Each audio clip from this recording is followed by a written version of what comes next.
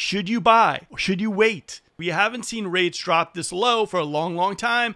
We're going to talk a little bit about how this affects our current Sacramento real estate market and is this a longer trend? As always, I have Aaron. Aaron, how's it going, man? Hey, what's going on, man? You know, we uh, we we've definitely uh, seen the interest rates, you know, that as they trend in the right direction. Um, applications, you know, we're we're also seeing those trend in what I would call the right direction, which is up.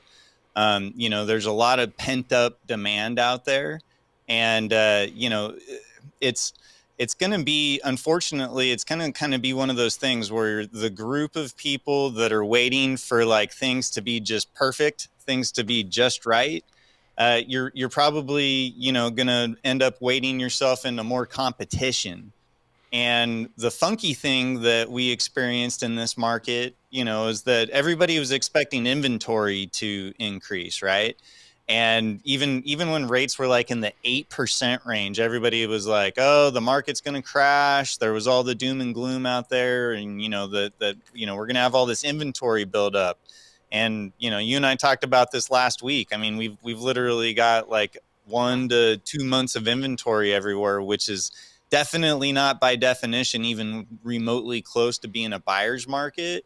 So I'm I'm seeing things heat up and you know it's it's tough to say like is now the right time. I would say that you know just like you and I always tell everybody that uh, you know you obviously you got to time your life meaning you know you got to be able to afford it and, and all of that stuff but as far as like timing the market uh, you know, one thing I do know is that as rates come down, there's going to be a whole lot more buyers that come out to the party, and we've still got all this this inventory locked up, and who knows if that's ever going to get unlocked up. You know what I mean?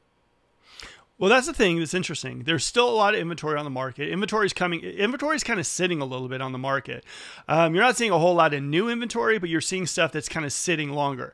Now, mm-hmm. what I mm-hmm. have been seeing in our current market is that things have been falling out of contract. I think a lot of people are sensing that interest rates could go lower, and they locked in their rate when they went into contract, and you're seeing stuff fall out of contract. I'm seeing a bunch mm-hmm. of stuff kind of like that was active, and all of a sudden they're back on the market. No fault of the seller, but they're back on the market. So I do think that this interest rate's a little bit of a blip on a drop is impacting our market a little bit. Not a lot. I wouldn't say a total lot. I don't see all of a sudden like craziness happening in our market.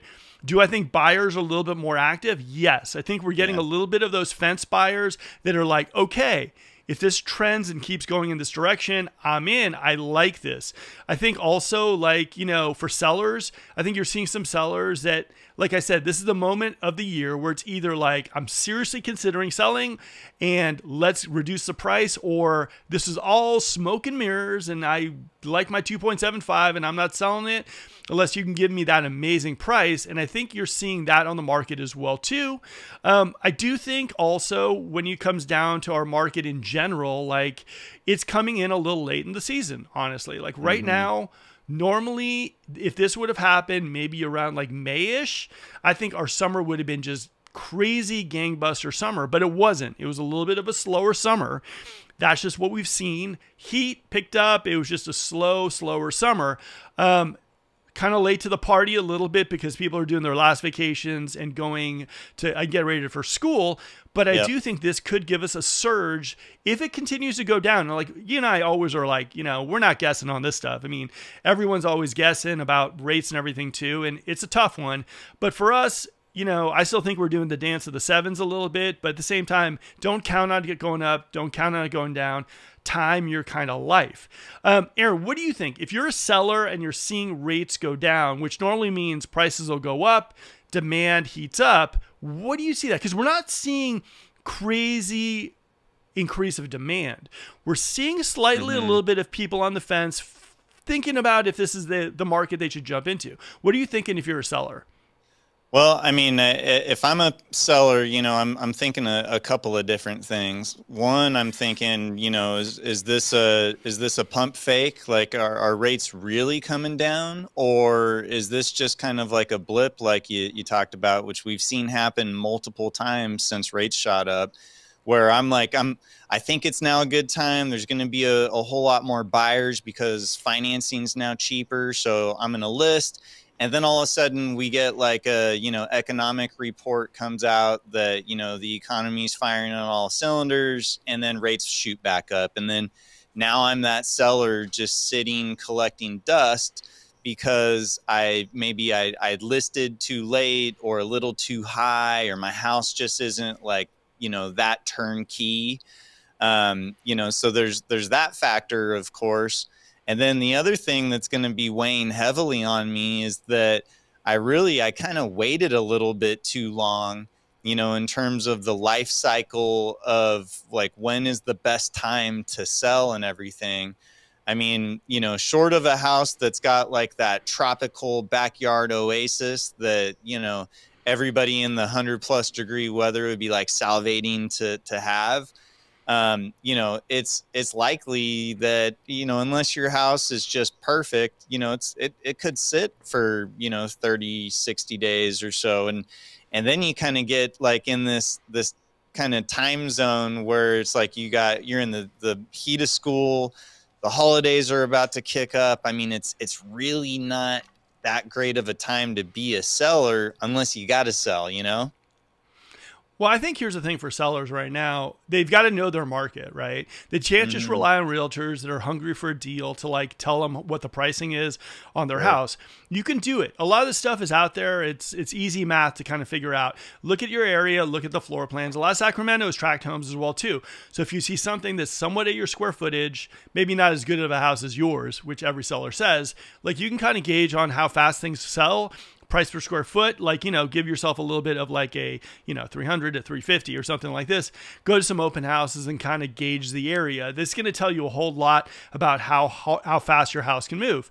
What we're seeing right now in Sacramento is community, community, uh, area area everything's really different street to street even it's just mm-hmm. that much of a difference in our market historically some of the spots that have been really super hot like your east sacramento's and land parks are slowing down a little bit. So you really need to know exactly the timing of your, your when you when you list your house if you're going to go that direction um, you need to know exactly if you have competition hitting the market you need to know if you know and reach out to other agents that like have sold in your area maybe the exact same floor plan have your realtor do it and basically go like hey look if you have anyone who lost out on your house, like let, let, bring them in as a buyer. You know, you have to think mm-hmm. outside the box, be very, very aggressive in this market if you're looking to sell your house. Um, I also think right now, you know, even though historically what it means interest rates dropping demand should pour in we're not seeing that crazy demand so if you're a seller and you're saying to yourself man you know i'm going to keep my house on the market because this demand is going to come it's still not there it's still like i would have assumed if we've been in the sixes because we are in the sixes last week and we're still there right now for some people, not for everybody, you know, credit scores and all that stuff. But for the mm-hmm. most part, we're seeing a six a lot all over the place. I thought I would see more demand. Not as much as I expected, even though there is an increase, yes. But there's a lot of people feeling out the market. There's a lot of people dipping their little finger in there, thinking to themselves, is it going to go lower? You know, is this the market? I'm still not seeing what I want to see, so I'm not really committed, but I'm there. So for me, sellers, it's going to be interesting. I do think you need to figure out whoever's listing your home needs to really be someone who knows an area, um, and can very much kind of give you a strategy on when you should list it. You shouldn't just, you know, throw it out there. I mean, you should figure out how many houses like yours are, are being sold at the same time, how long it takes for a house to sell, price per square foot, all that kind of fun stuff. Mm-hmm. You have to have a strategy and just not throw it out there, do some pretty pictures and call it a day. Um, that's kind of what we, we, we kind of do that strategy kind of listing and it tends to work out really, really well. Um, okay. So we talked there. Now let's talk buyers. What would you talk about if you had a buyer on the phone right now and they're like, Aaron, Rates are in the sixes. We can finally buy the house we want to buy. Um, is this it? I mean, should we do it? Like, what is it looking like? Other than telling them to time your life, not time the market. Sure. Like I said, we're not pushing anyone to buy. We're informing you. What do you say? What What would be some buyer advice you throw out there? Yeah, if if now's the time, if now you can afford it, you know, with where rates are at, it's in your price point. I'd say saddle up and and get out there and and you know buy, assuming that you can find something that meets your needs and it's still like like you said, Mark, it's it's you know the right time in your life. My reasoning for that is that there's very limited inventory. I mean, any of you watching this, you've probably you know looked at Mark's app or Zillow or Redfin or you know whatever your uh, your search tool of choice is. But basically, the homes that are sitting, I feel like, in my opinion, what we're seeing is that like anybody that's like 60 years old or or less, they already own a home for the most part. I'm not talking all the millennials and everything, but there's there's like this big group of people that are homeowners that are locked in at like a two or three, maybe four percent rate. They got a ton of equity, and sure they'd love to move, but you know you look at the price differences, and it's just like, well, I'll just you know put a pool in at my house instead. And then you look at the homes that are being put on the market, and I would say like the overwhelming majority of them they need a lot of work a lot of times, right? And it seems like it's a lot of like trustee sales, you know, grandma and grandpa have passed on or whatever. And, you know, that home's finally coming onto the market. And so there's a lot of people, I think, that, um, you know, these potential buyers that are like, you know, sitting on the sidelines, they've been waiting for the perfect house, they're waiting for the perfect rate, they're waiting for, you know, all these things, but there's you know it's really hard to get the stars to align on everything. So when the money works when the financing works i feel like you can make the other things work. You can always paint remodel whatever the case and you can refinance. Because that's a, a thing that comes up a lot too is like well what if rates drop well, if rates drop, if you already own a house, you don't have to worry about all the competition of new buyers coming out to compete with you to buy that house. You can just redo your financing basically and make it cheaper, right? So that that would be my advice, Mark. Okay, so what I would say to buyers would be this. First of all, great advice, and I would say like but I would say, you know, like we both always say, time time your life, don't time the market. You got to figure out if your job's good, money in the bank, and you got that movement where you can kind of make it happen for yourself. Mm-hmm. Like everyone's decision is different. Don't don't base it on this video, don't base it on another video. It should be about you analyzing your life and seeing if it's the right move for you. Now, for me, I would say don't worry about what the rate is going to be like in a month, two months, three months. It's going to get in your head. Figure out what that payment looks like today if you found the house you love and you went into contract with it. Like, what does that mortgage payment look like? And if you can handle it, that's the biggest thing. If you start thinking about what it's going to be like in a month, a year, if you start hearing all these videos saying about price drops and everything's going to go crazy, it's going to go into your head. A lot of people back in the good old battle days when we were at 2.75 thought prices would drop. Everyone was like, oh my God, prices are going to drop. I'm just going to wait around. They missed that golden envelope period of the 2.75, and to this day, they probably regret it. They were timing the market time your life, guys. It's the biggest advice I can tell you straight up.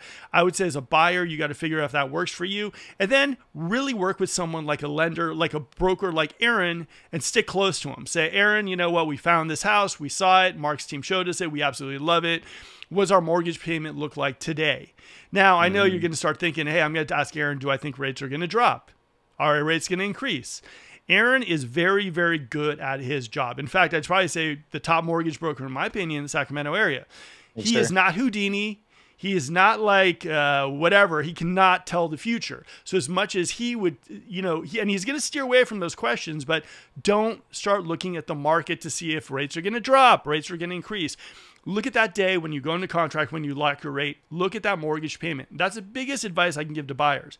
The other thing for buyers is find the house you like. You know, I mean, maybe it's not the one it's going to be your forever home, but find a house you like. If it's your stepping stone home, if it's your investment property, find a house you like. And that would be my biggest advice for anyone at this moment looking to buy in the Sacramento area. Okay, so let's move on. Let's talk about new homes. A lot of people lock their rates at yeah. seven fives and seven sixes, and now rates are down. And what do you think? What is your advice for anyone who actually purchased a new home or is thinking about purchasing a new home right now with rates kind of trickling down? Well, I mean, if if you've already locked in your rate, uh, you know, the way that the builders uh, purchase contracts are, your uh, contingency removals are done within like the first couple of days. So you're locked in basically. So what you need to do is talk to your your lender, the builder's lender, I would assume, uh, about basically renegotiating your lock. Uh, they may have a, a lock renegotiation policy. Um, but most likely they're going to just tell you to, you know, it's kind of, it is what it is. Um, that's kind of, you know, when you lock, you, you know, you're, it's a double edged sword because you get the benefit of not taking a higher rate if rates go higher. But if rates go lower, you know, typically you're stuck with what you got. Um, you know, if you're thinking about buying a house, a new build, you know, that's something that you're going to really need to, you know, juggle in your decision making process is, you know, when you go sign that contract, um, you know, to purchase that house, if your timeline's three months down the road, four or five months down the road, or whatever, are rates going to be better in the future? Or are they going to be, you know, better today? It's it's it's really impossible to, you know, know exactly what the future is going to hold. Um, so that's that's again that's something that you know you got to you know lean on a bunch of different professionals to you know help you make an educated decision on on what the best move is. You know what I mean, Mark? No, 100%. I think for new homes, here's the thing. I think for new homes, depending on, it depends on how many homes are built and if the demand can support them towards the end of this year. That's the main thing, right? So let's say we're at lower interest rates. Let's say we're low, high sixes, right? Do people segue more into the resale market, need up that inventory, or are they still lovers of new homes? That's a huge question. We don't know.